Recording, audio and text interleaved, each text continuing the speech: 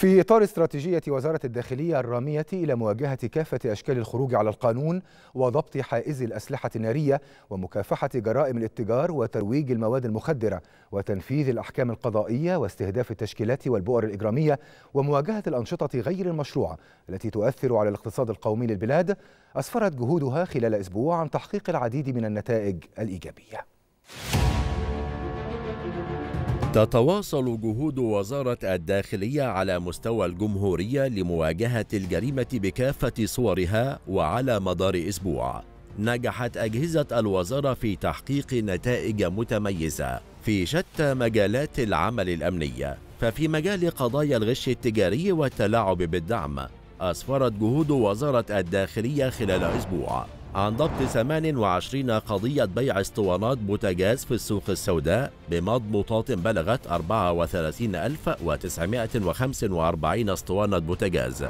وضبط 28 قضية مواد بترولية بمضبوطات بلغت 724454 لتر مواد بترولية تم تجميعها لبيعها في السوق السوداء.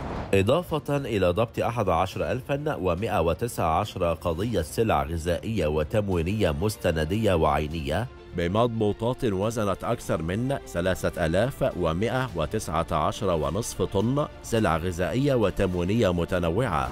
وكذلك ضبط 5001 قضية مخالفة للمخابز بمضبوطات بلغت قرابة 256 ونصف طن دقيق بلدي مدعم. كما تم ضبط خمس قضايا في مجال حجب السلع الاستراتيجية بمضبوطات بلغت 86 طن سلع غذائية متنوعة.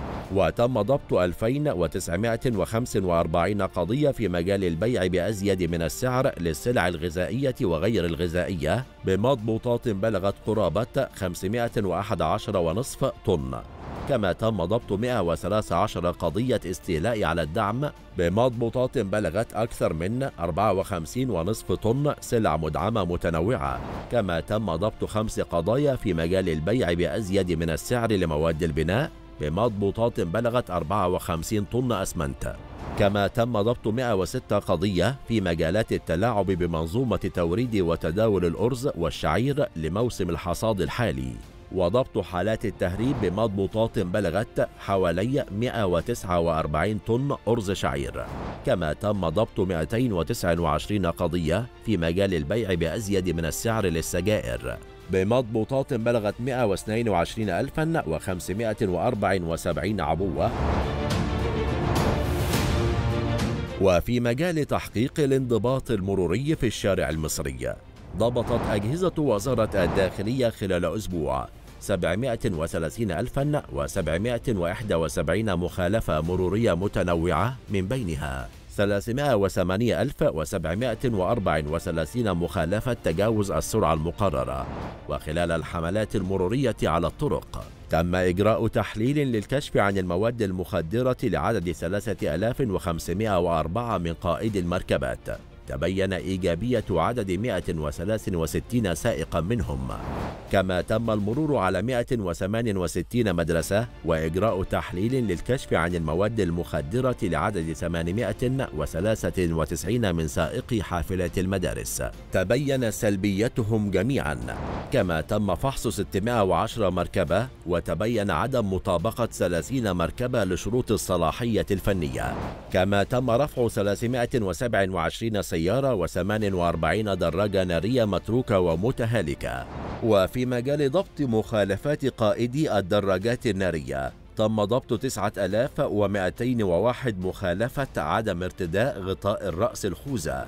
كما أسفرت جهود رصد مخالفات تركيب أجهزة التنبيه الضوئية أو الصوتية الخاصة بمركبات الطوارئ والمحظور تركيبها واستعمالها عن ضبط 954 مخالفة الأجهزة الصوتية وضبط 1218 مخالفة الأجهزة الضوئية وضبط 2807 مخالفة الزجاج الملون بدون ترخيص وضبط 2997 مخالفة ملصقات وضبط 39 محلا مخالفا لبيع الأجهزة الصوتية والضوئية.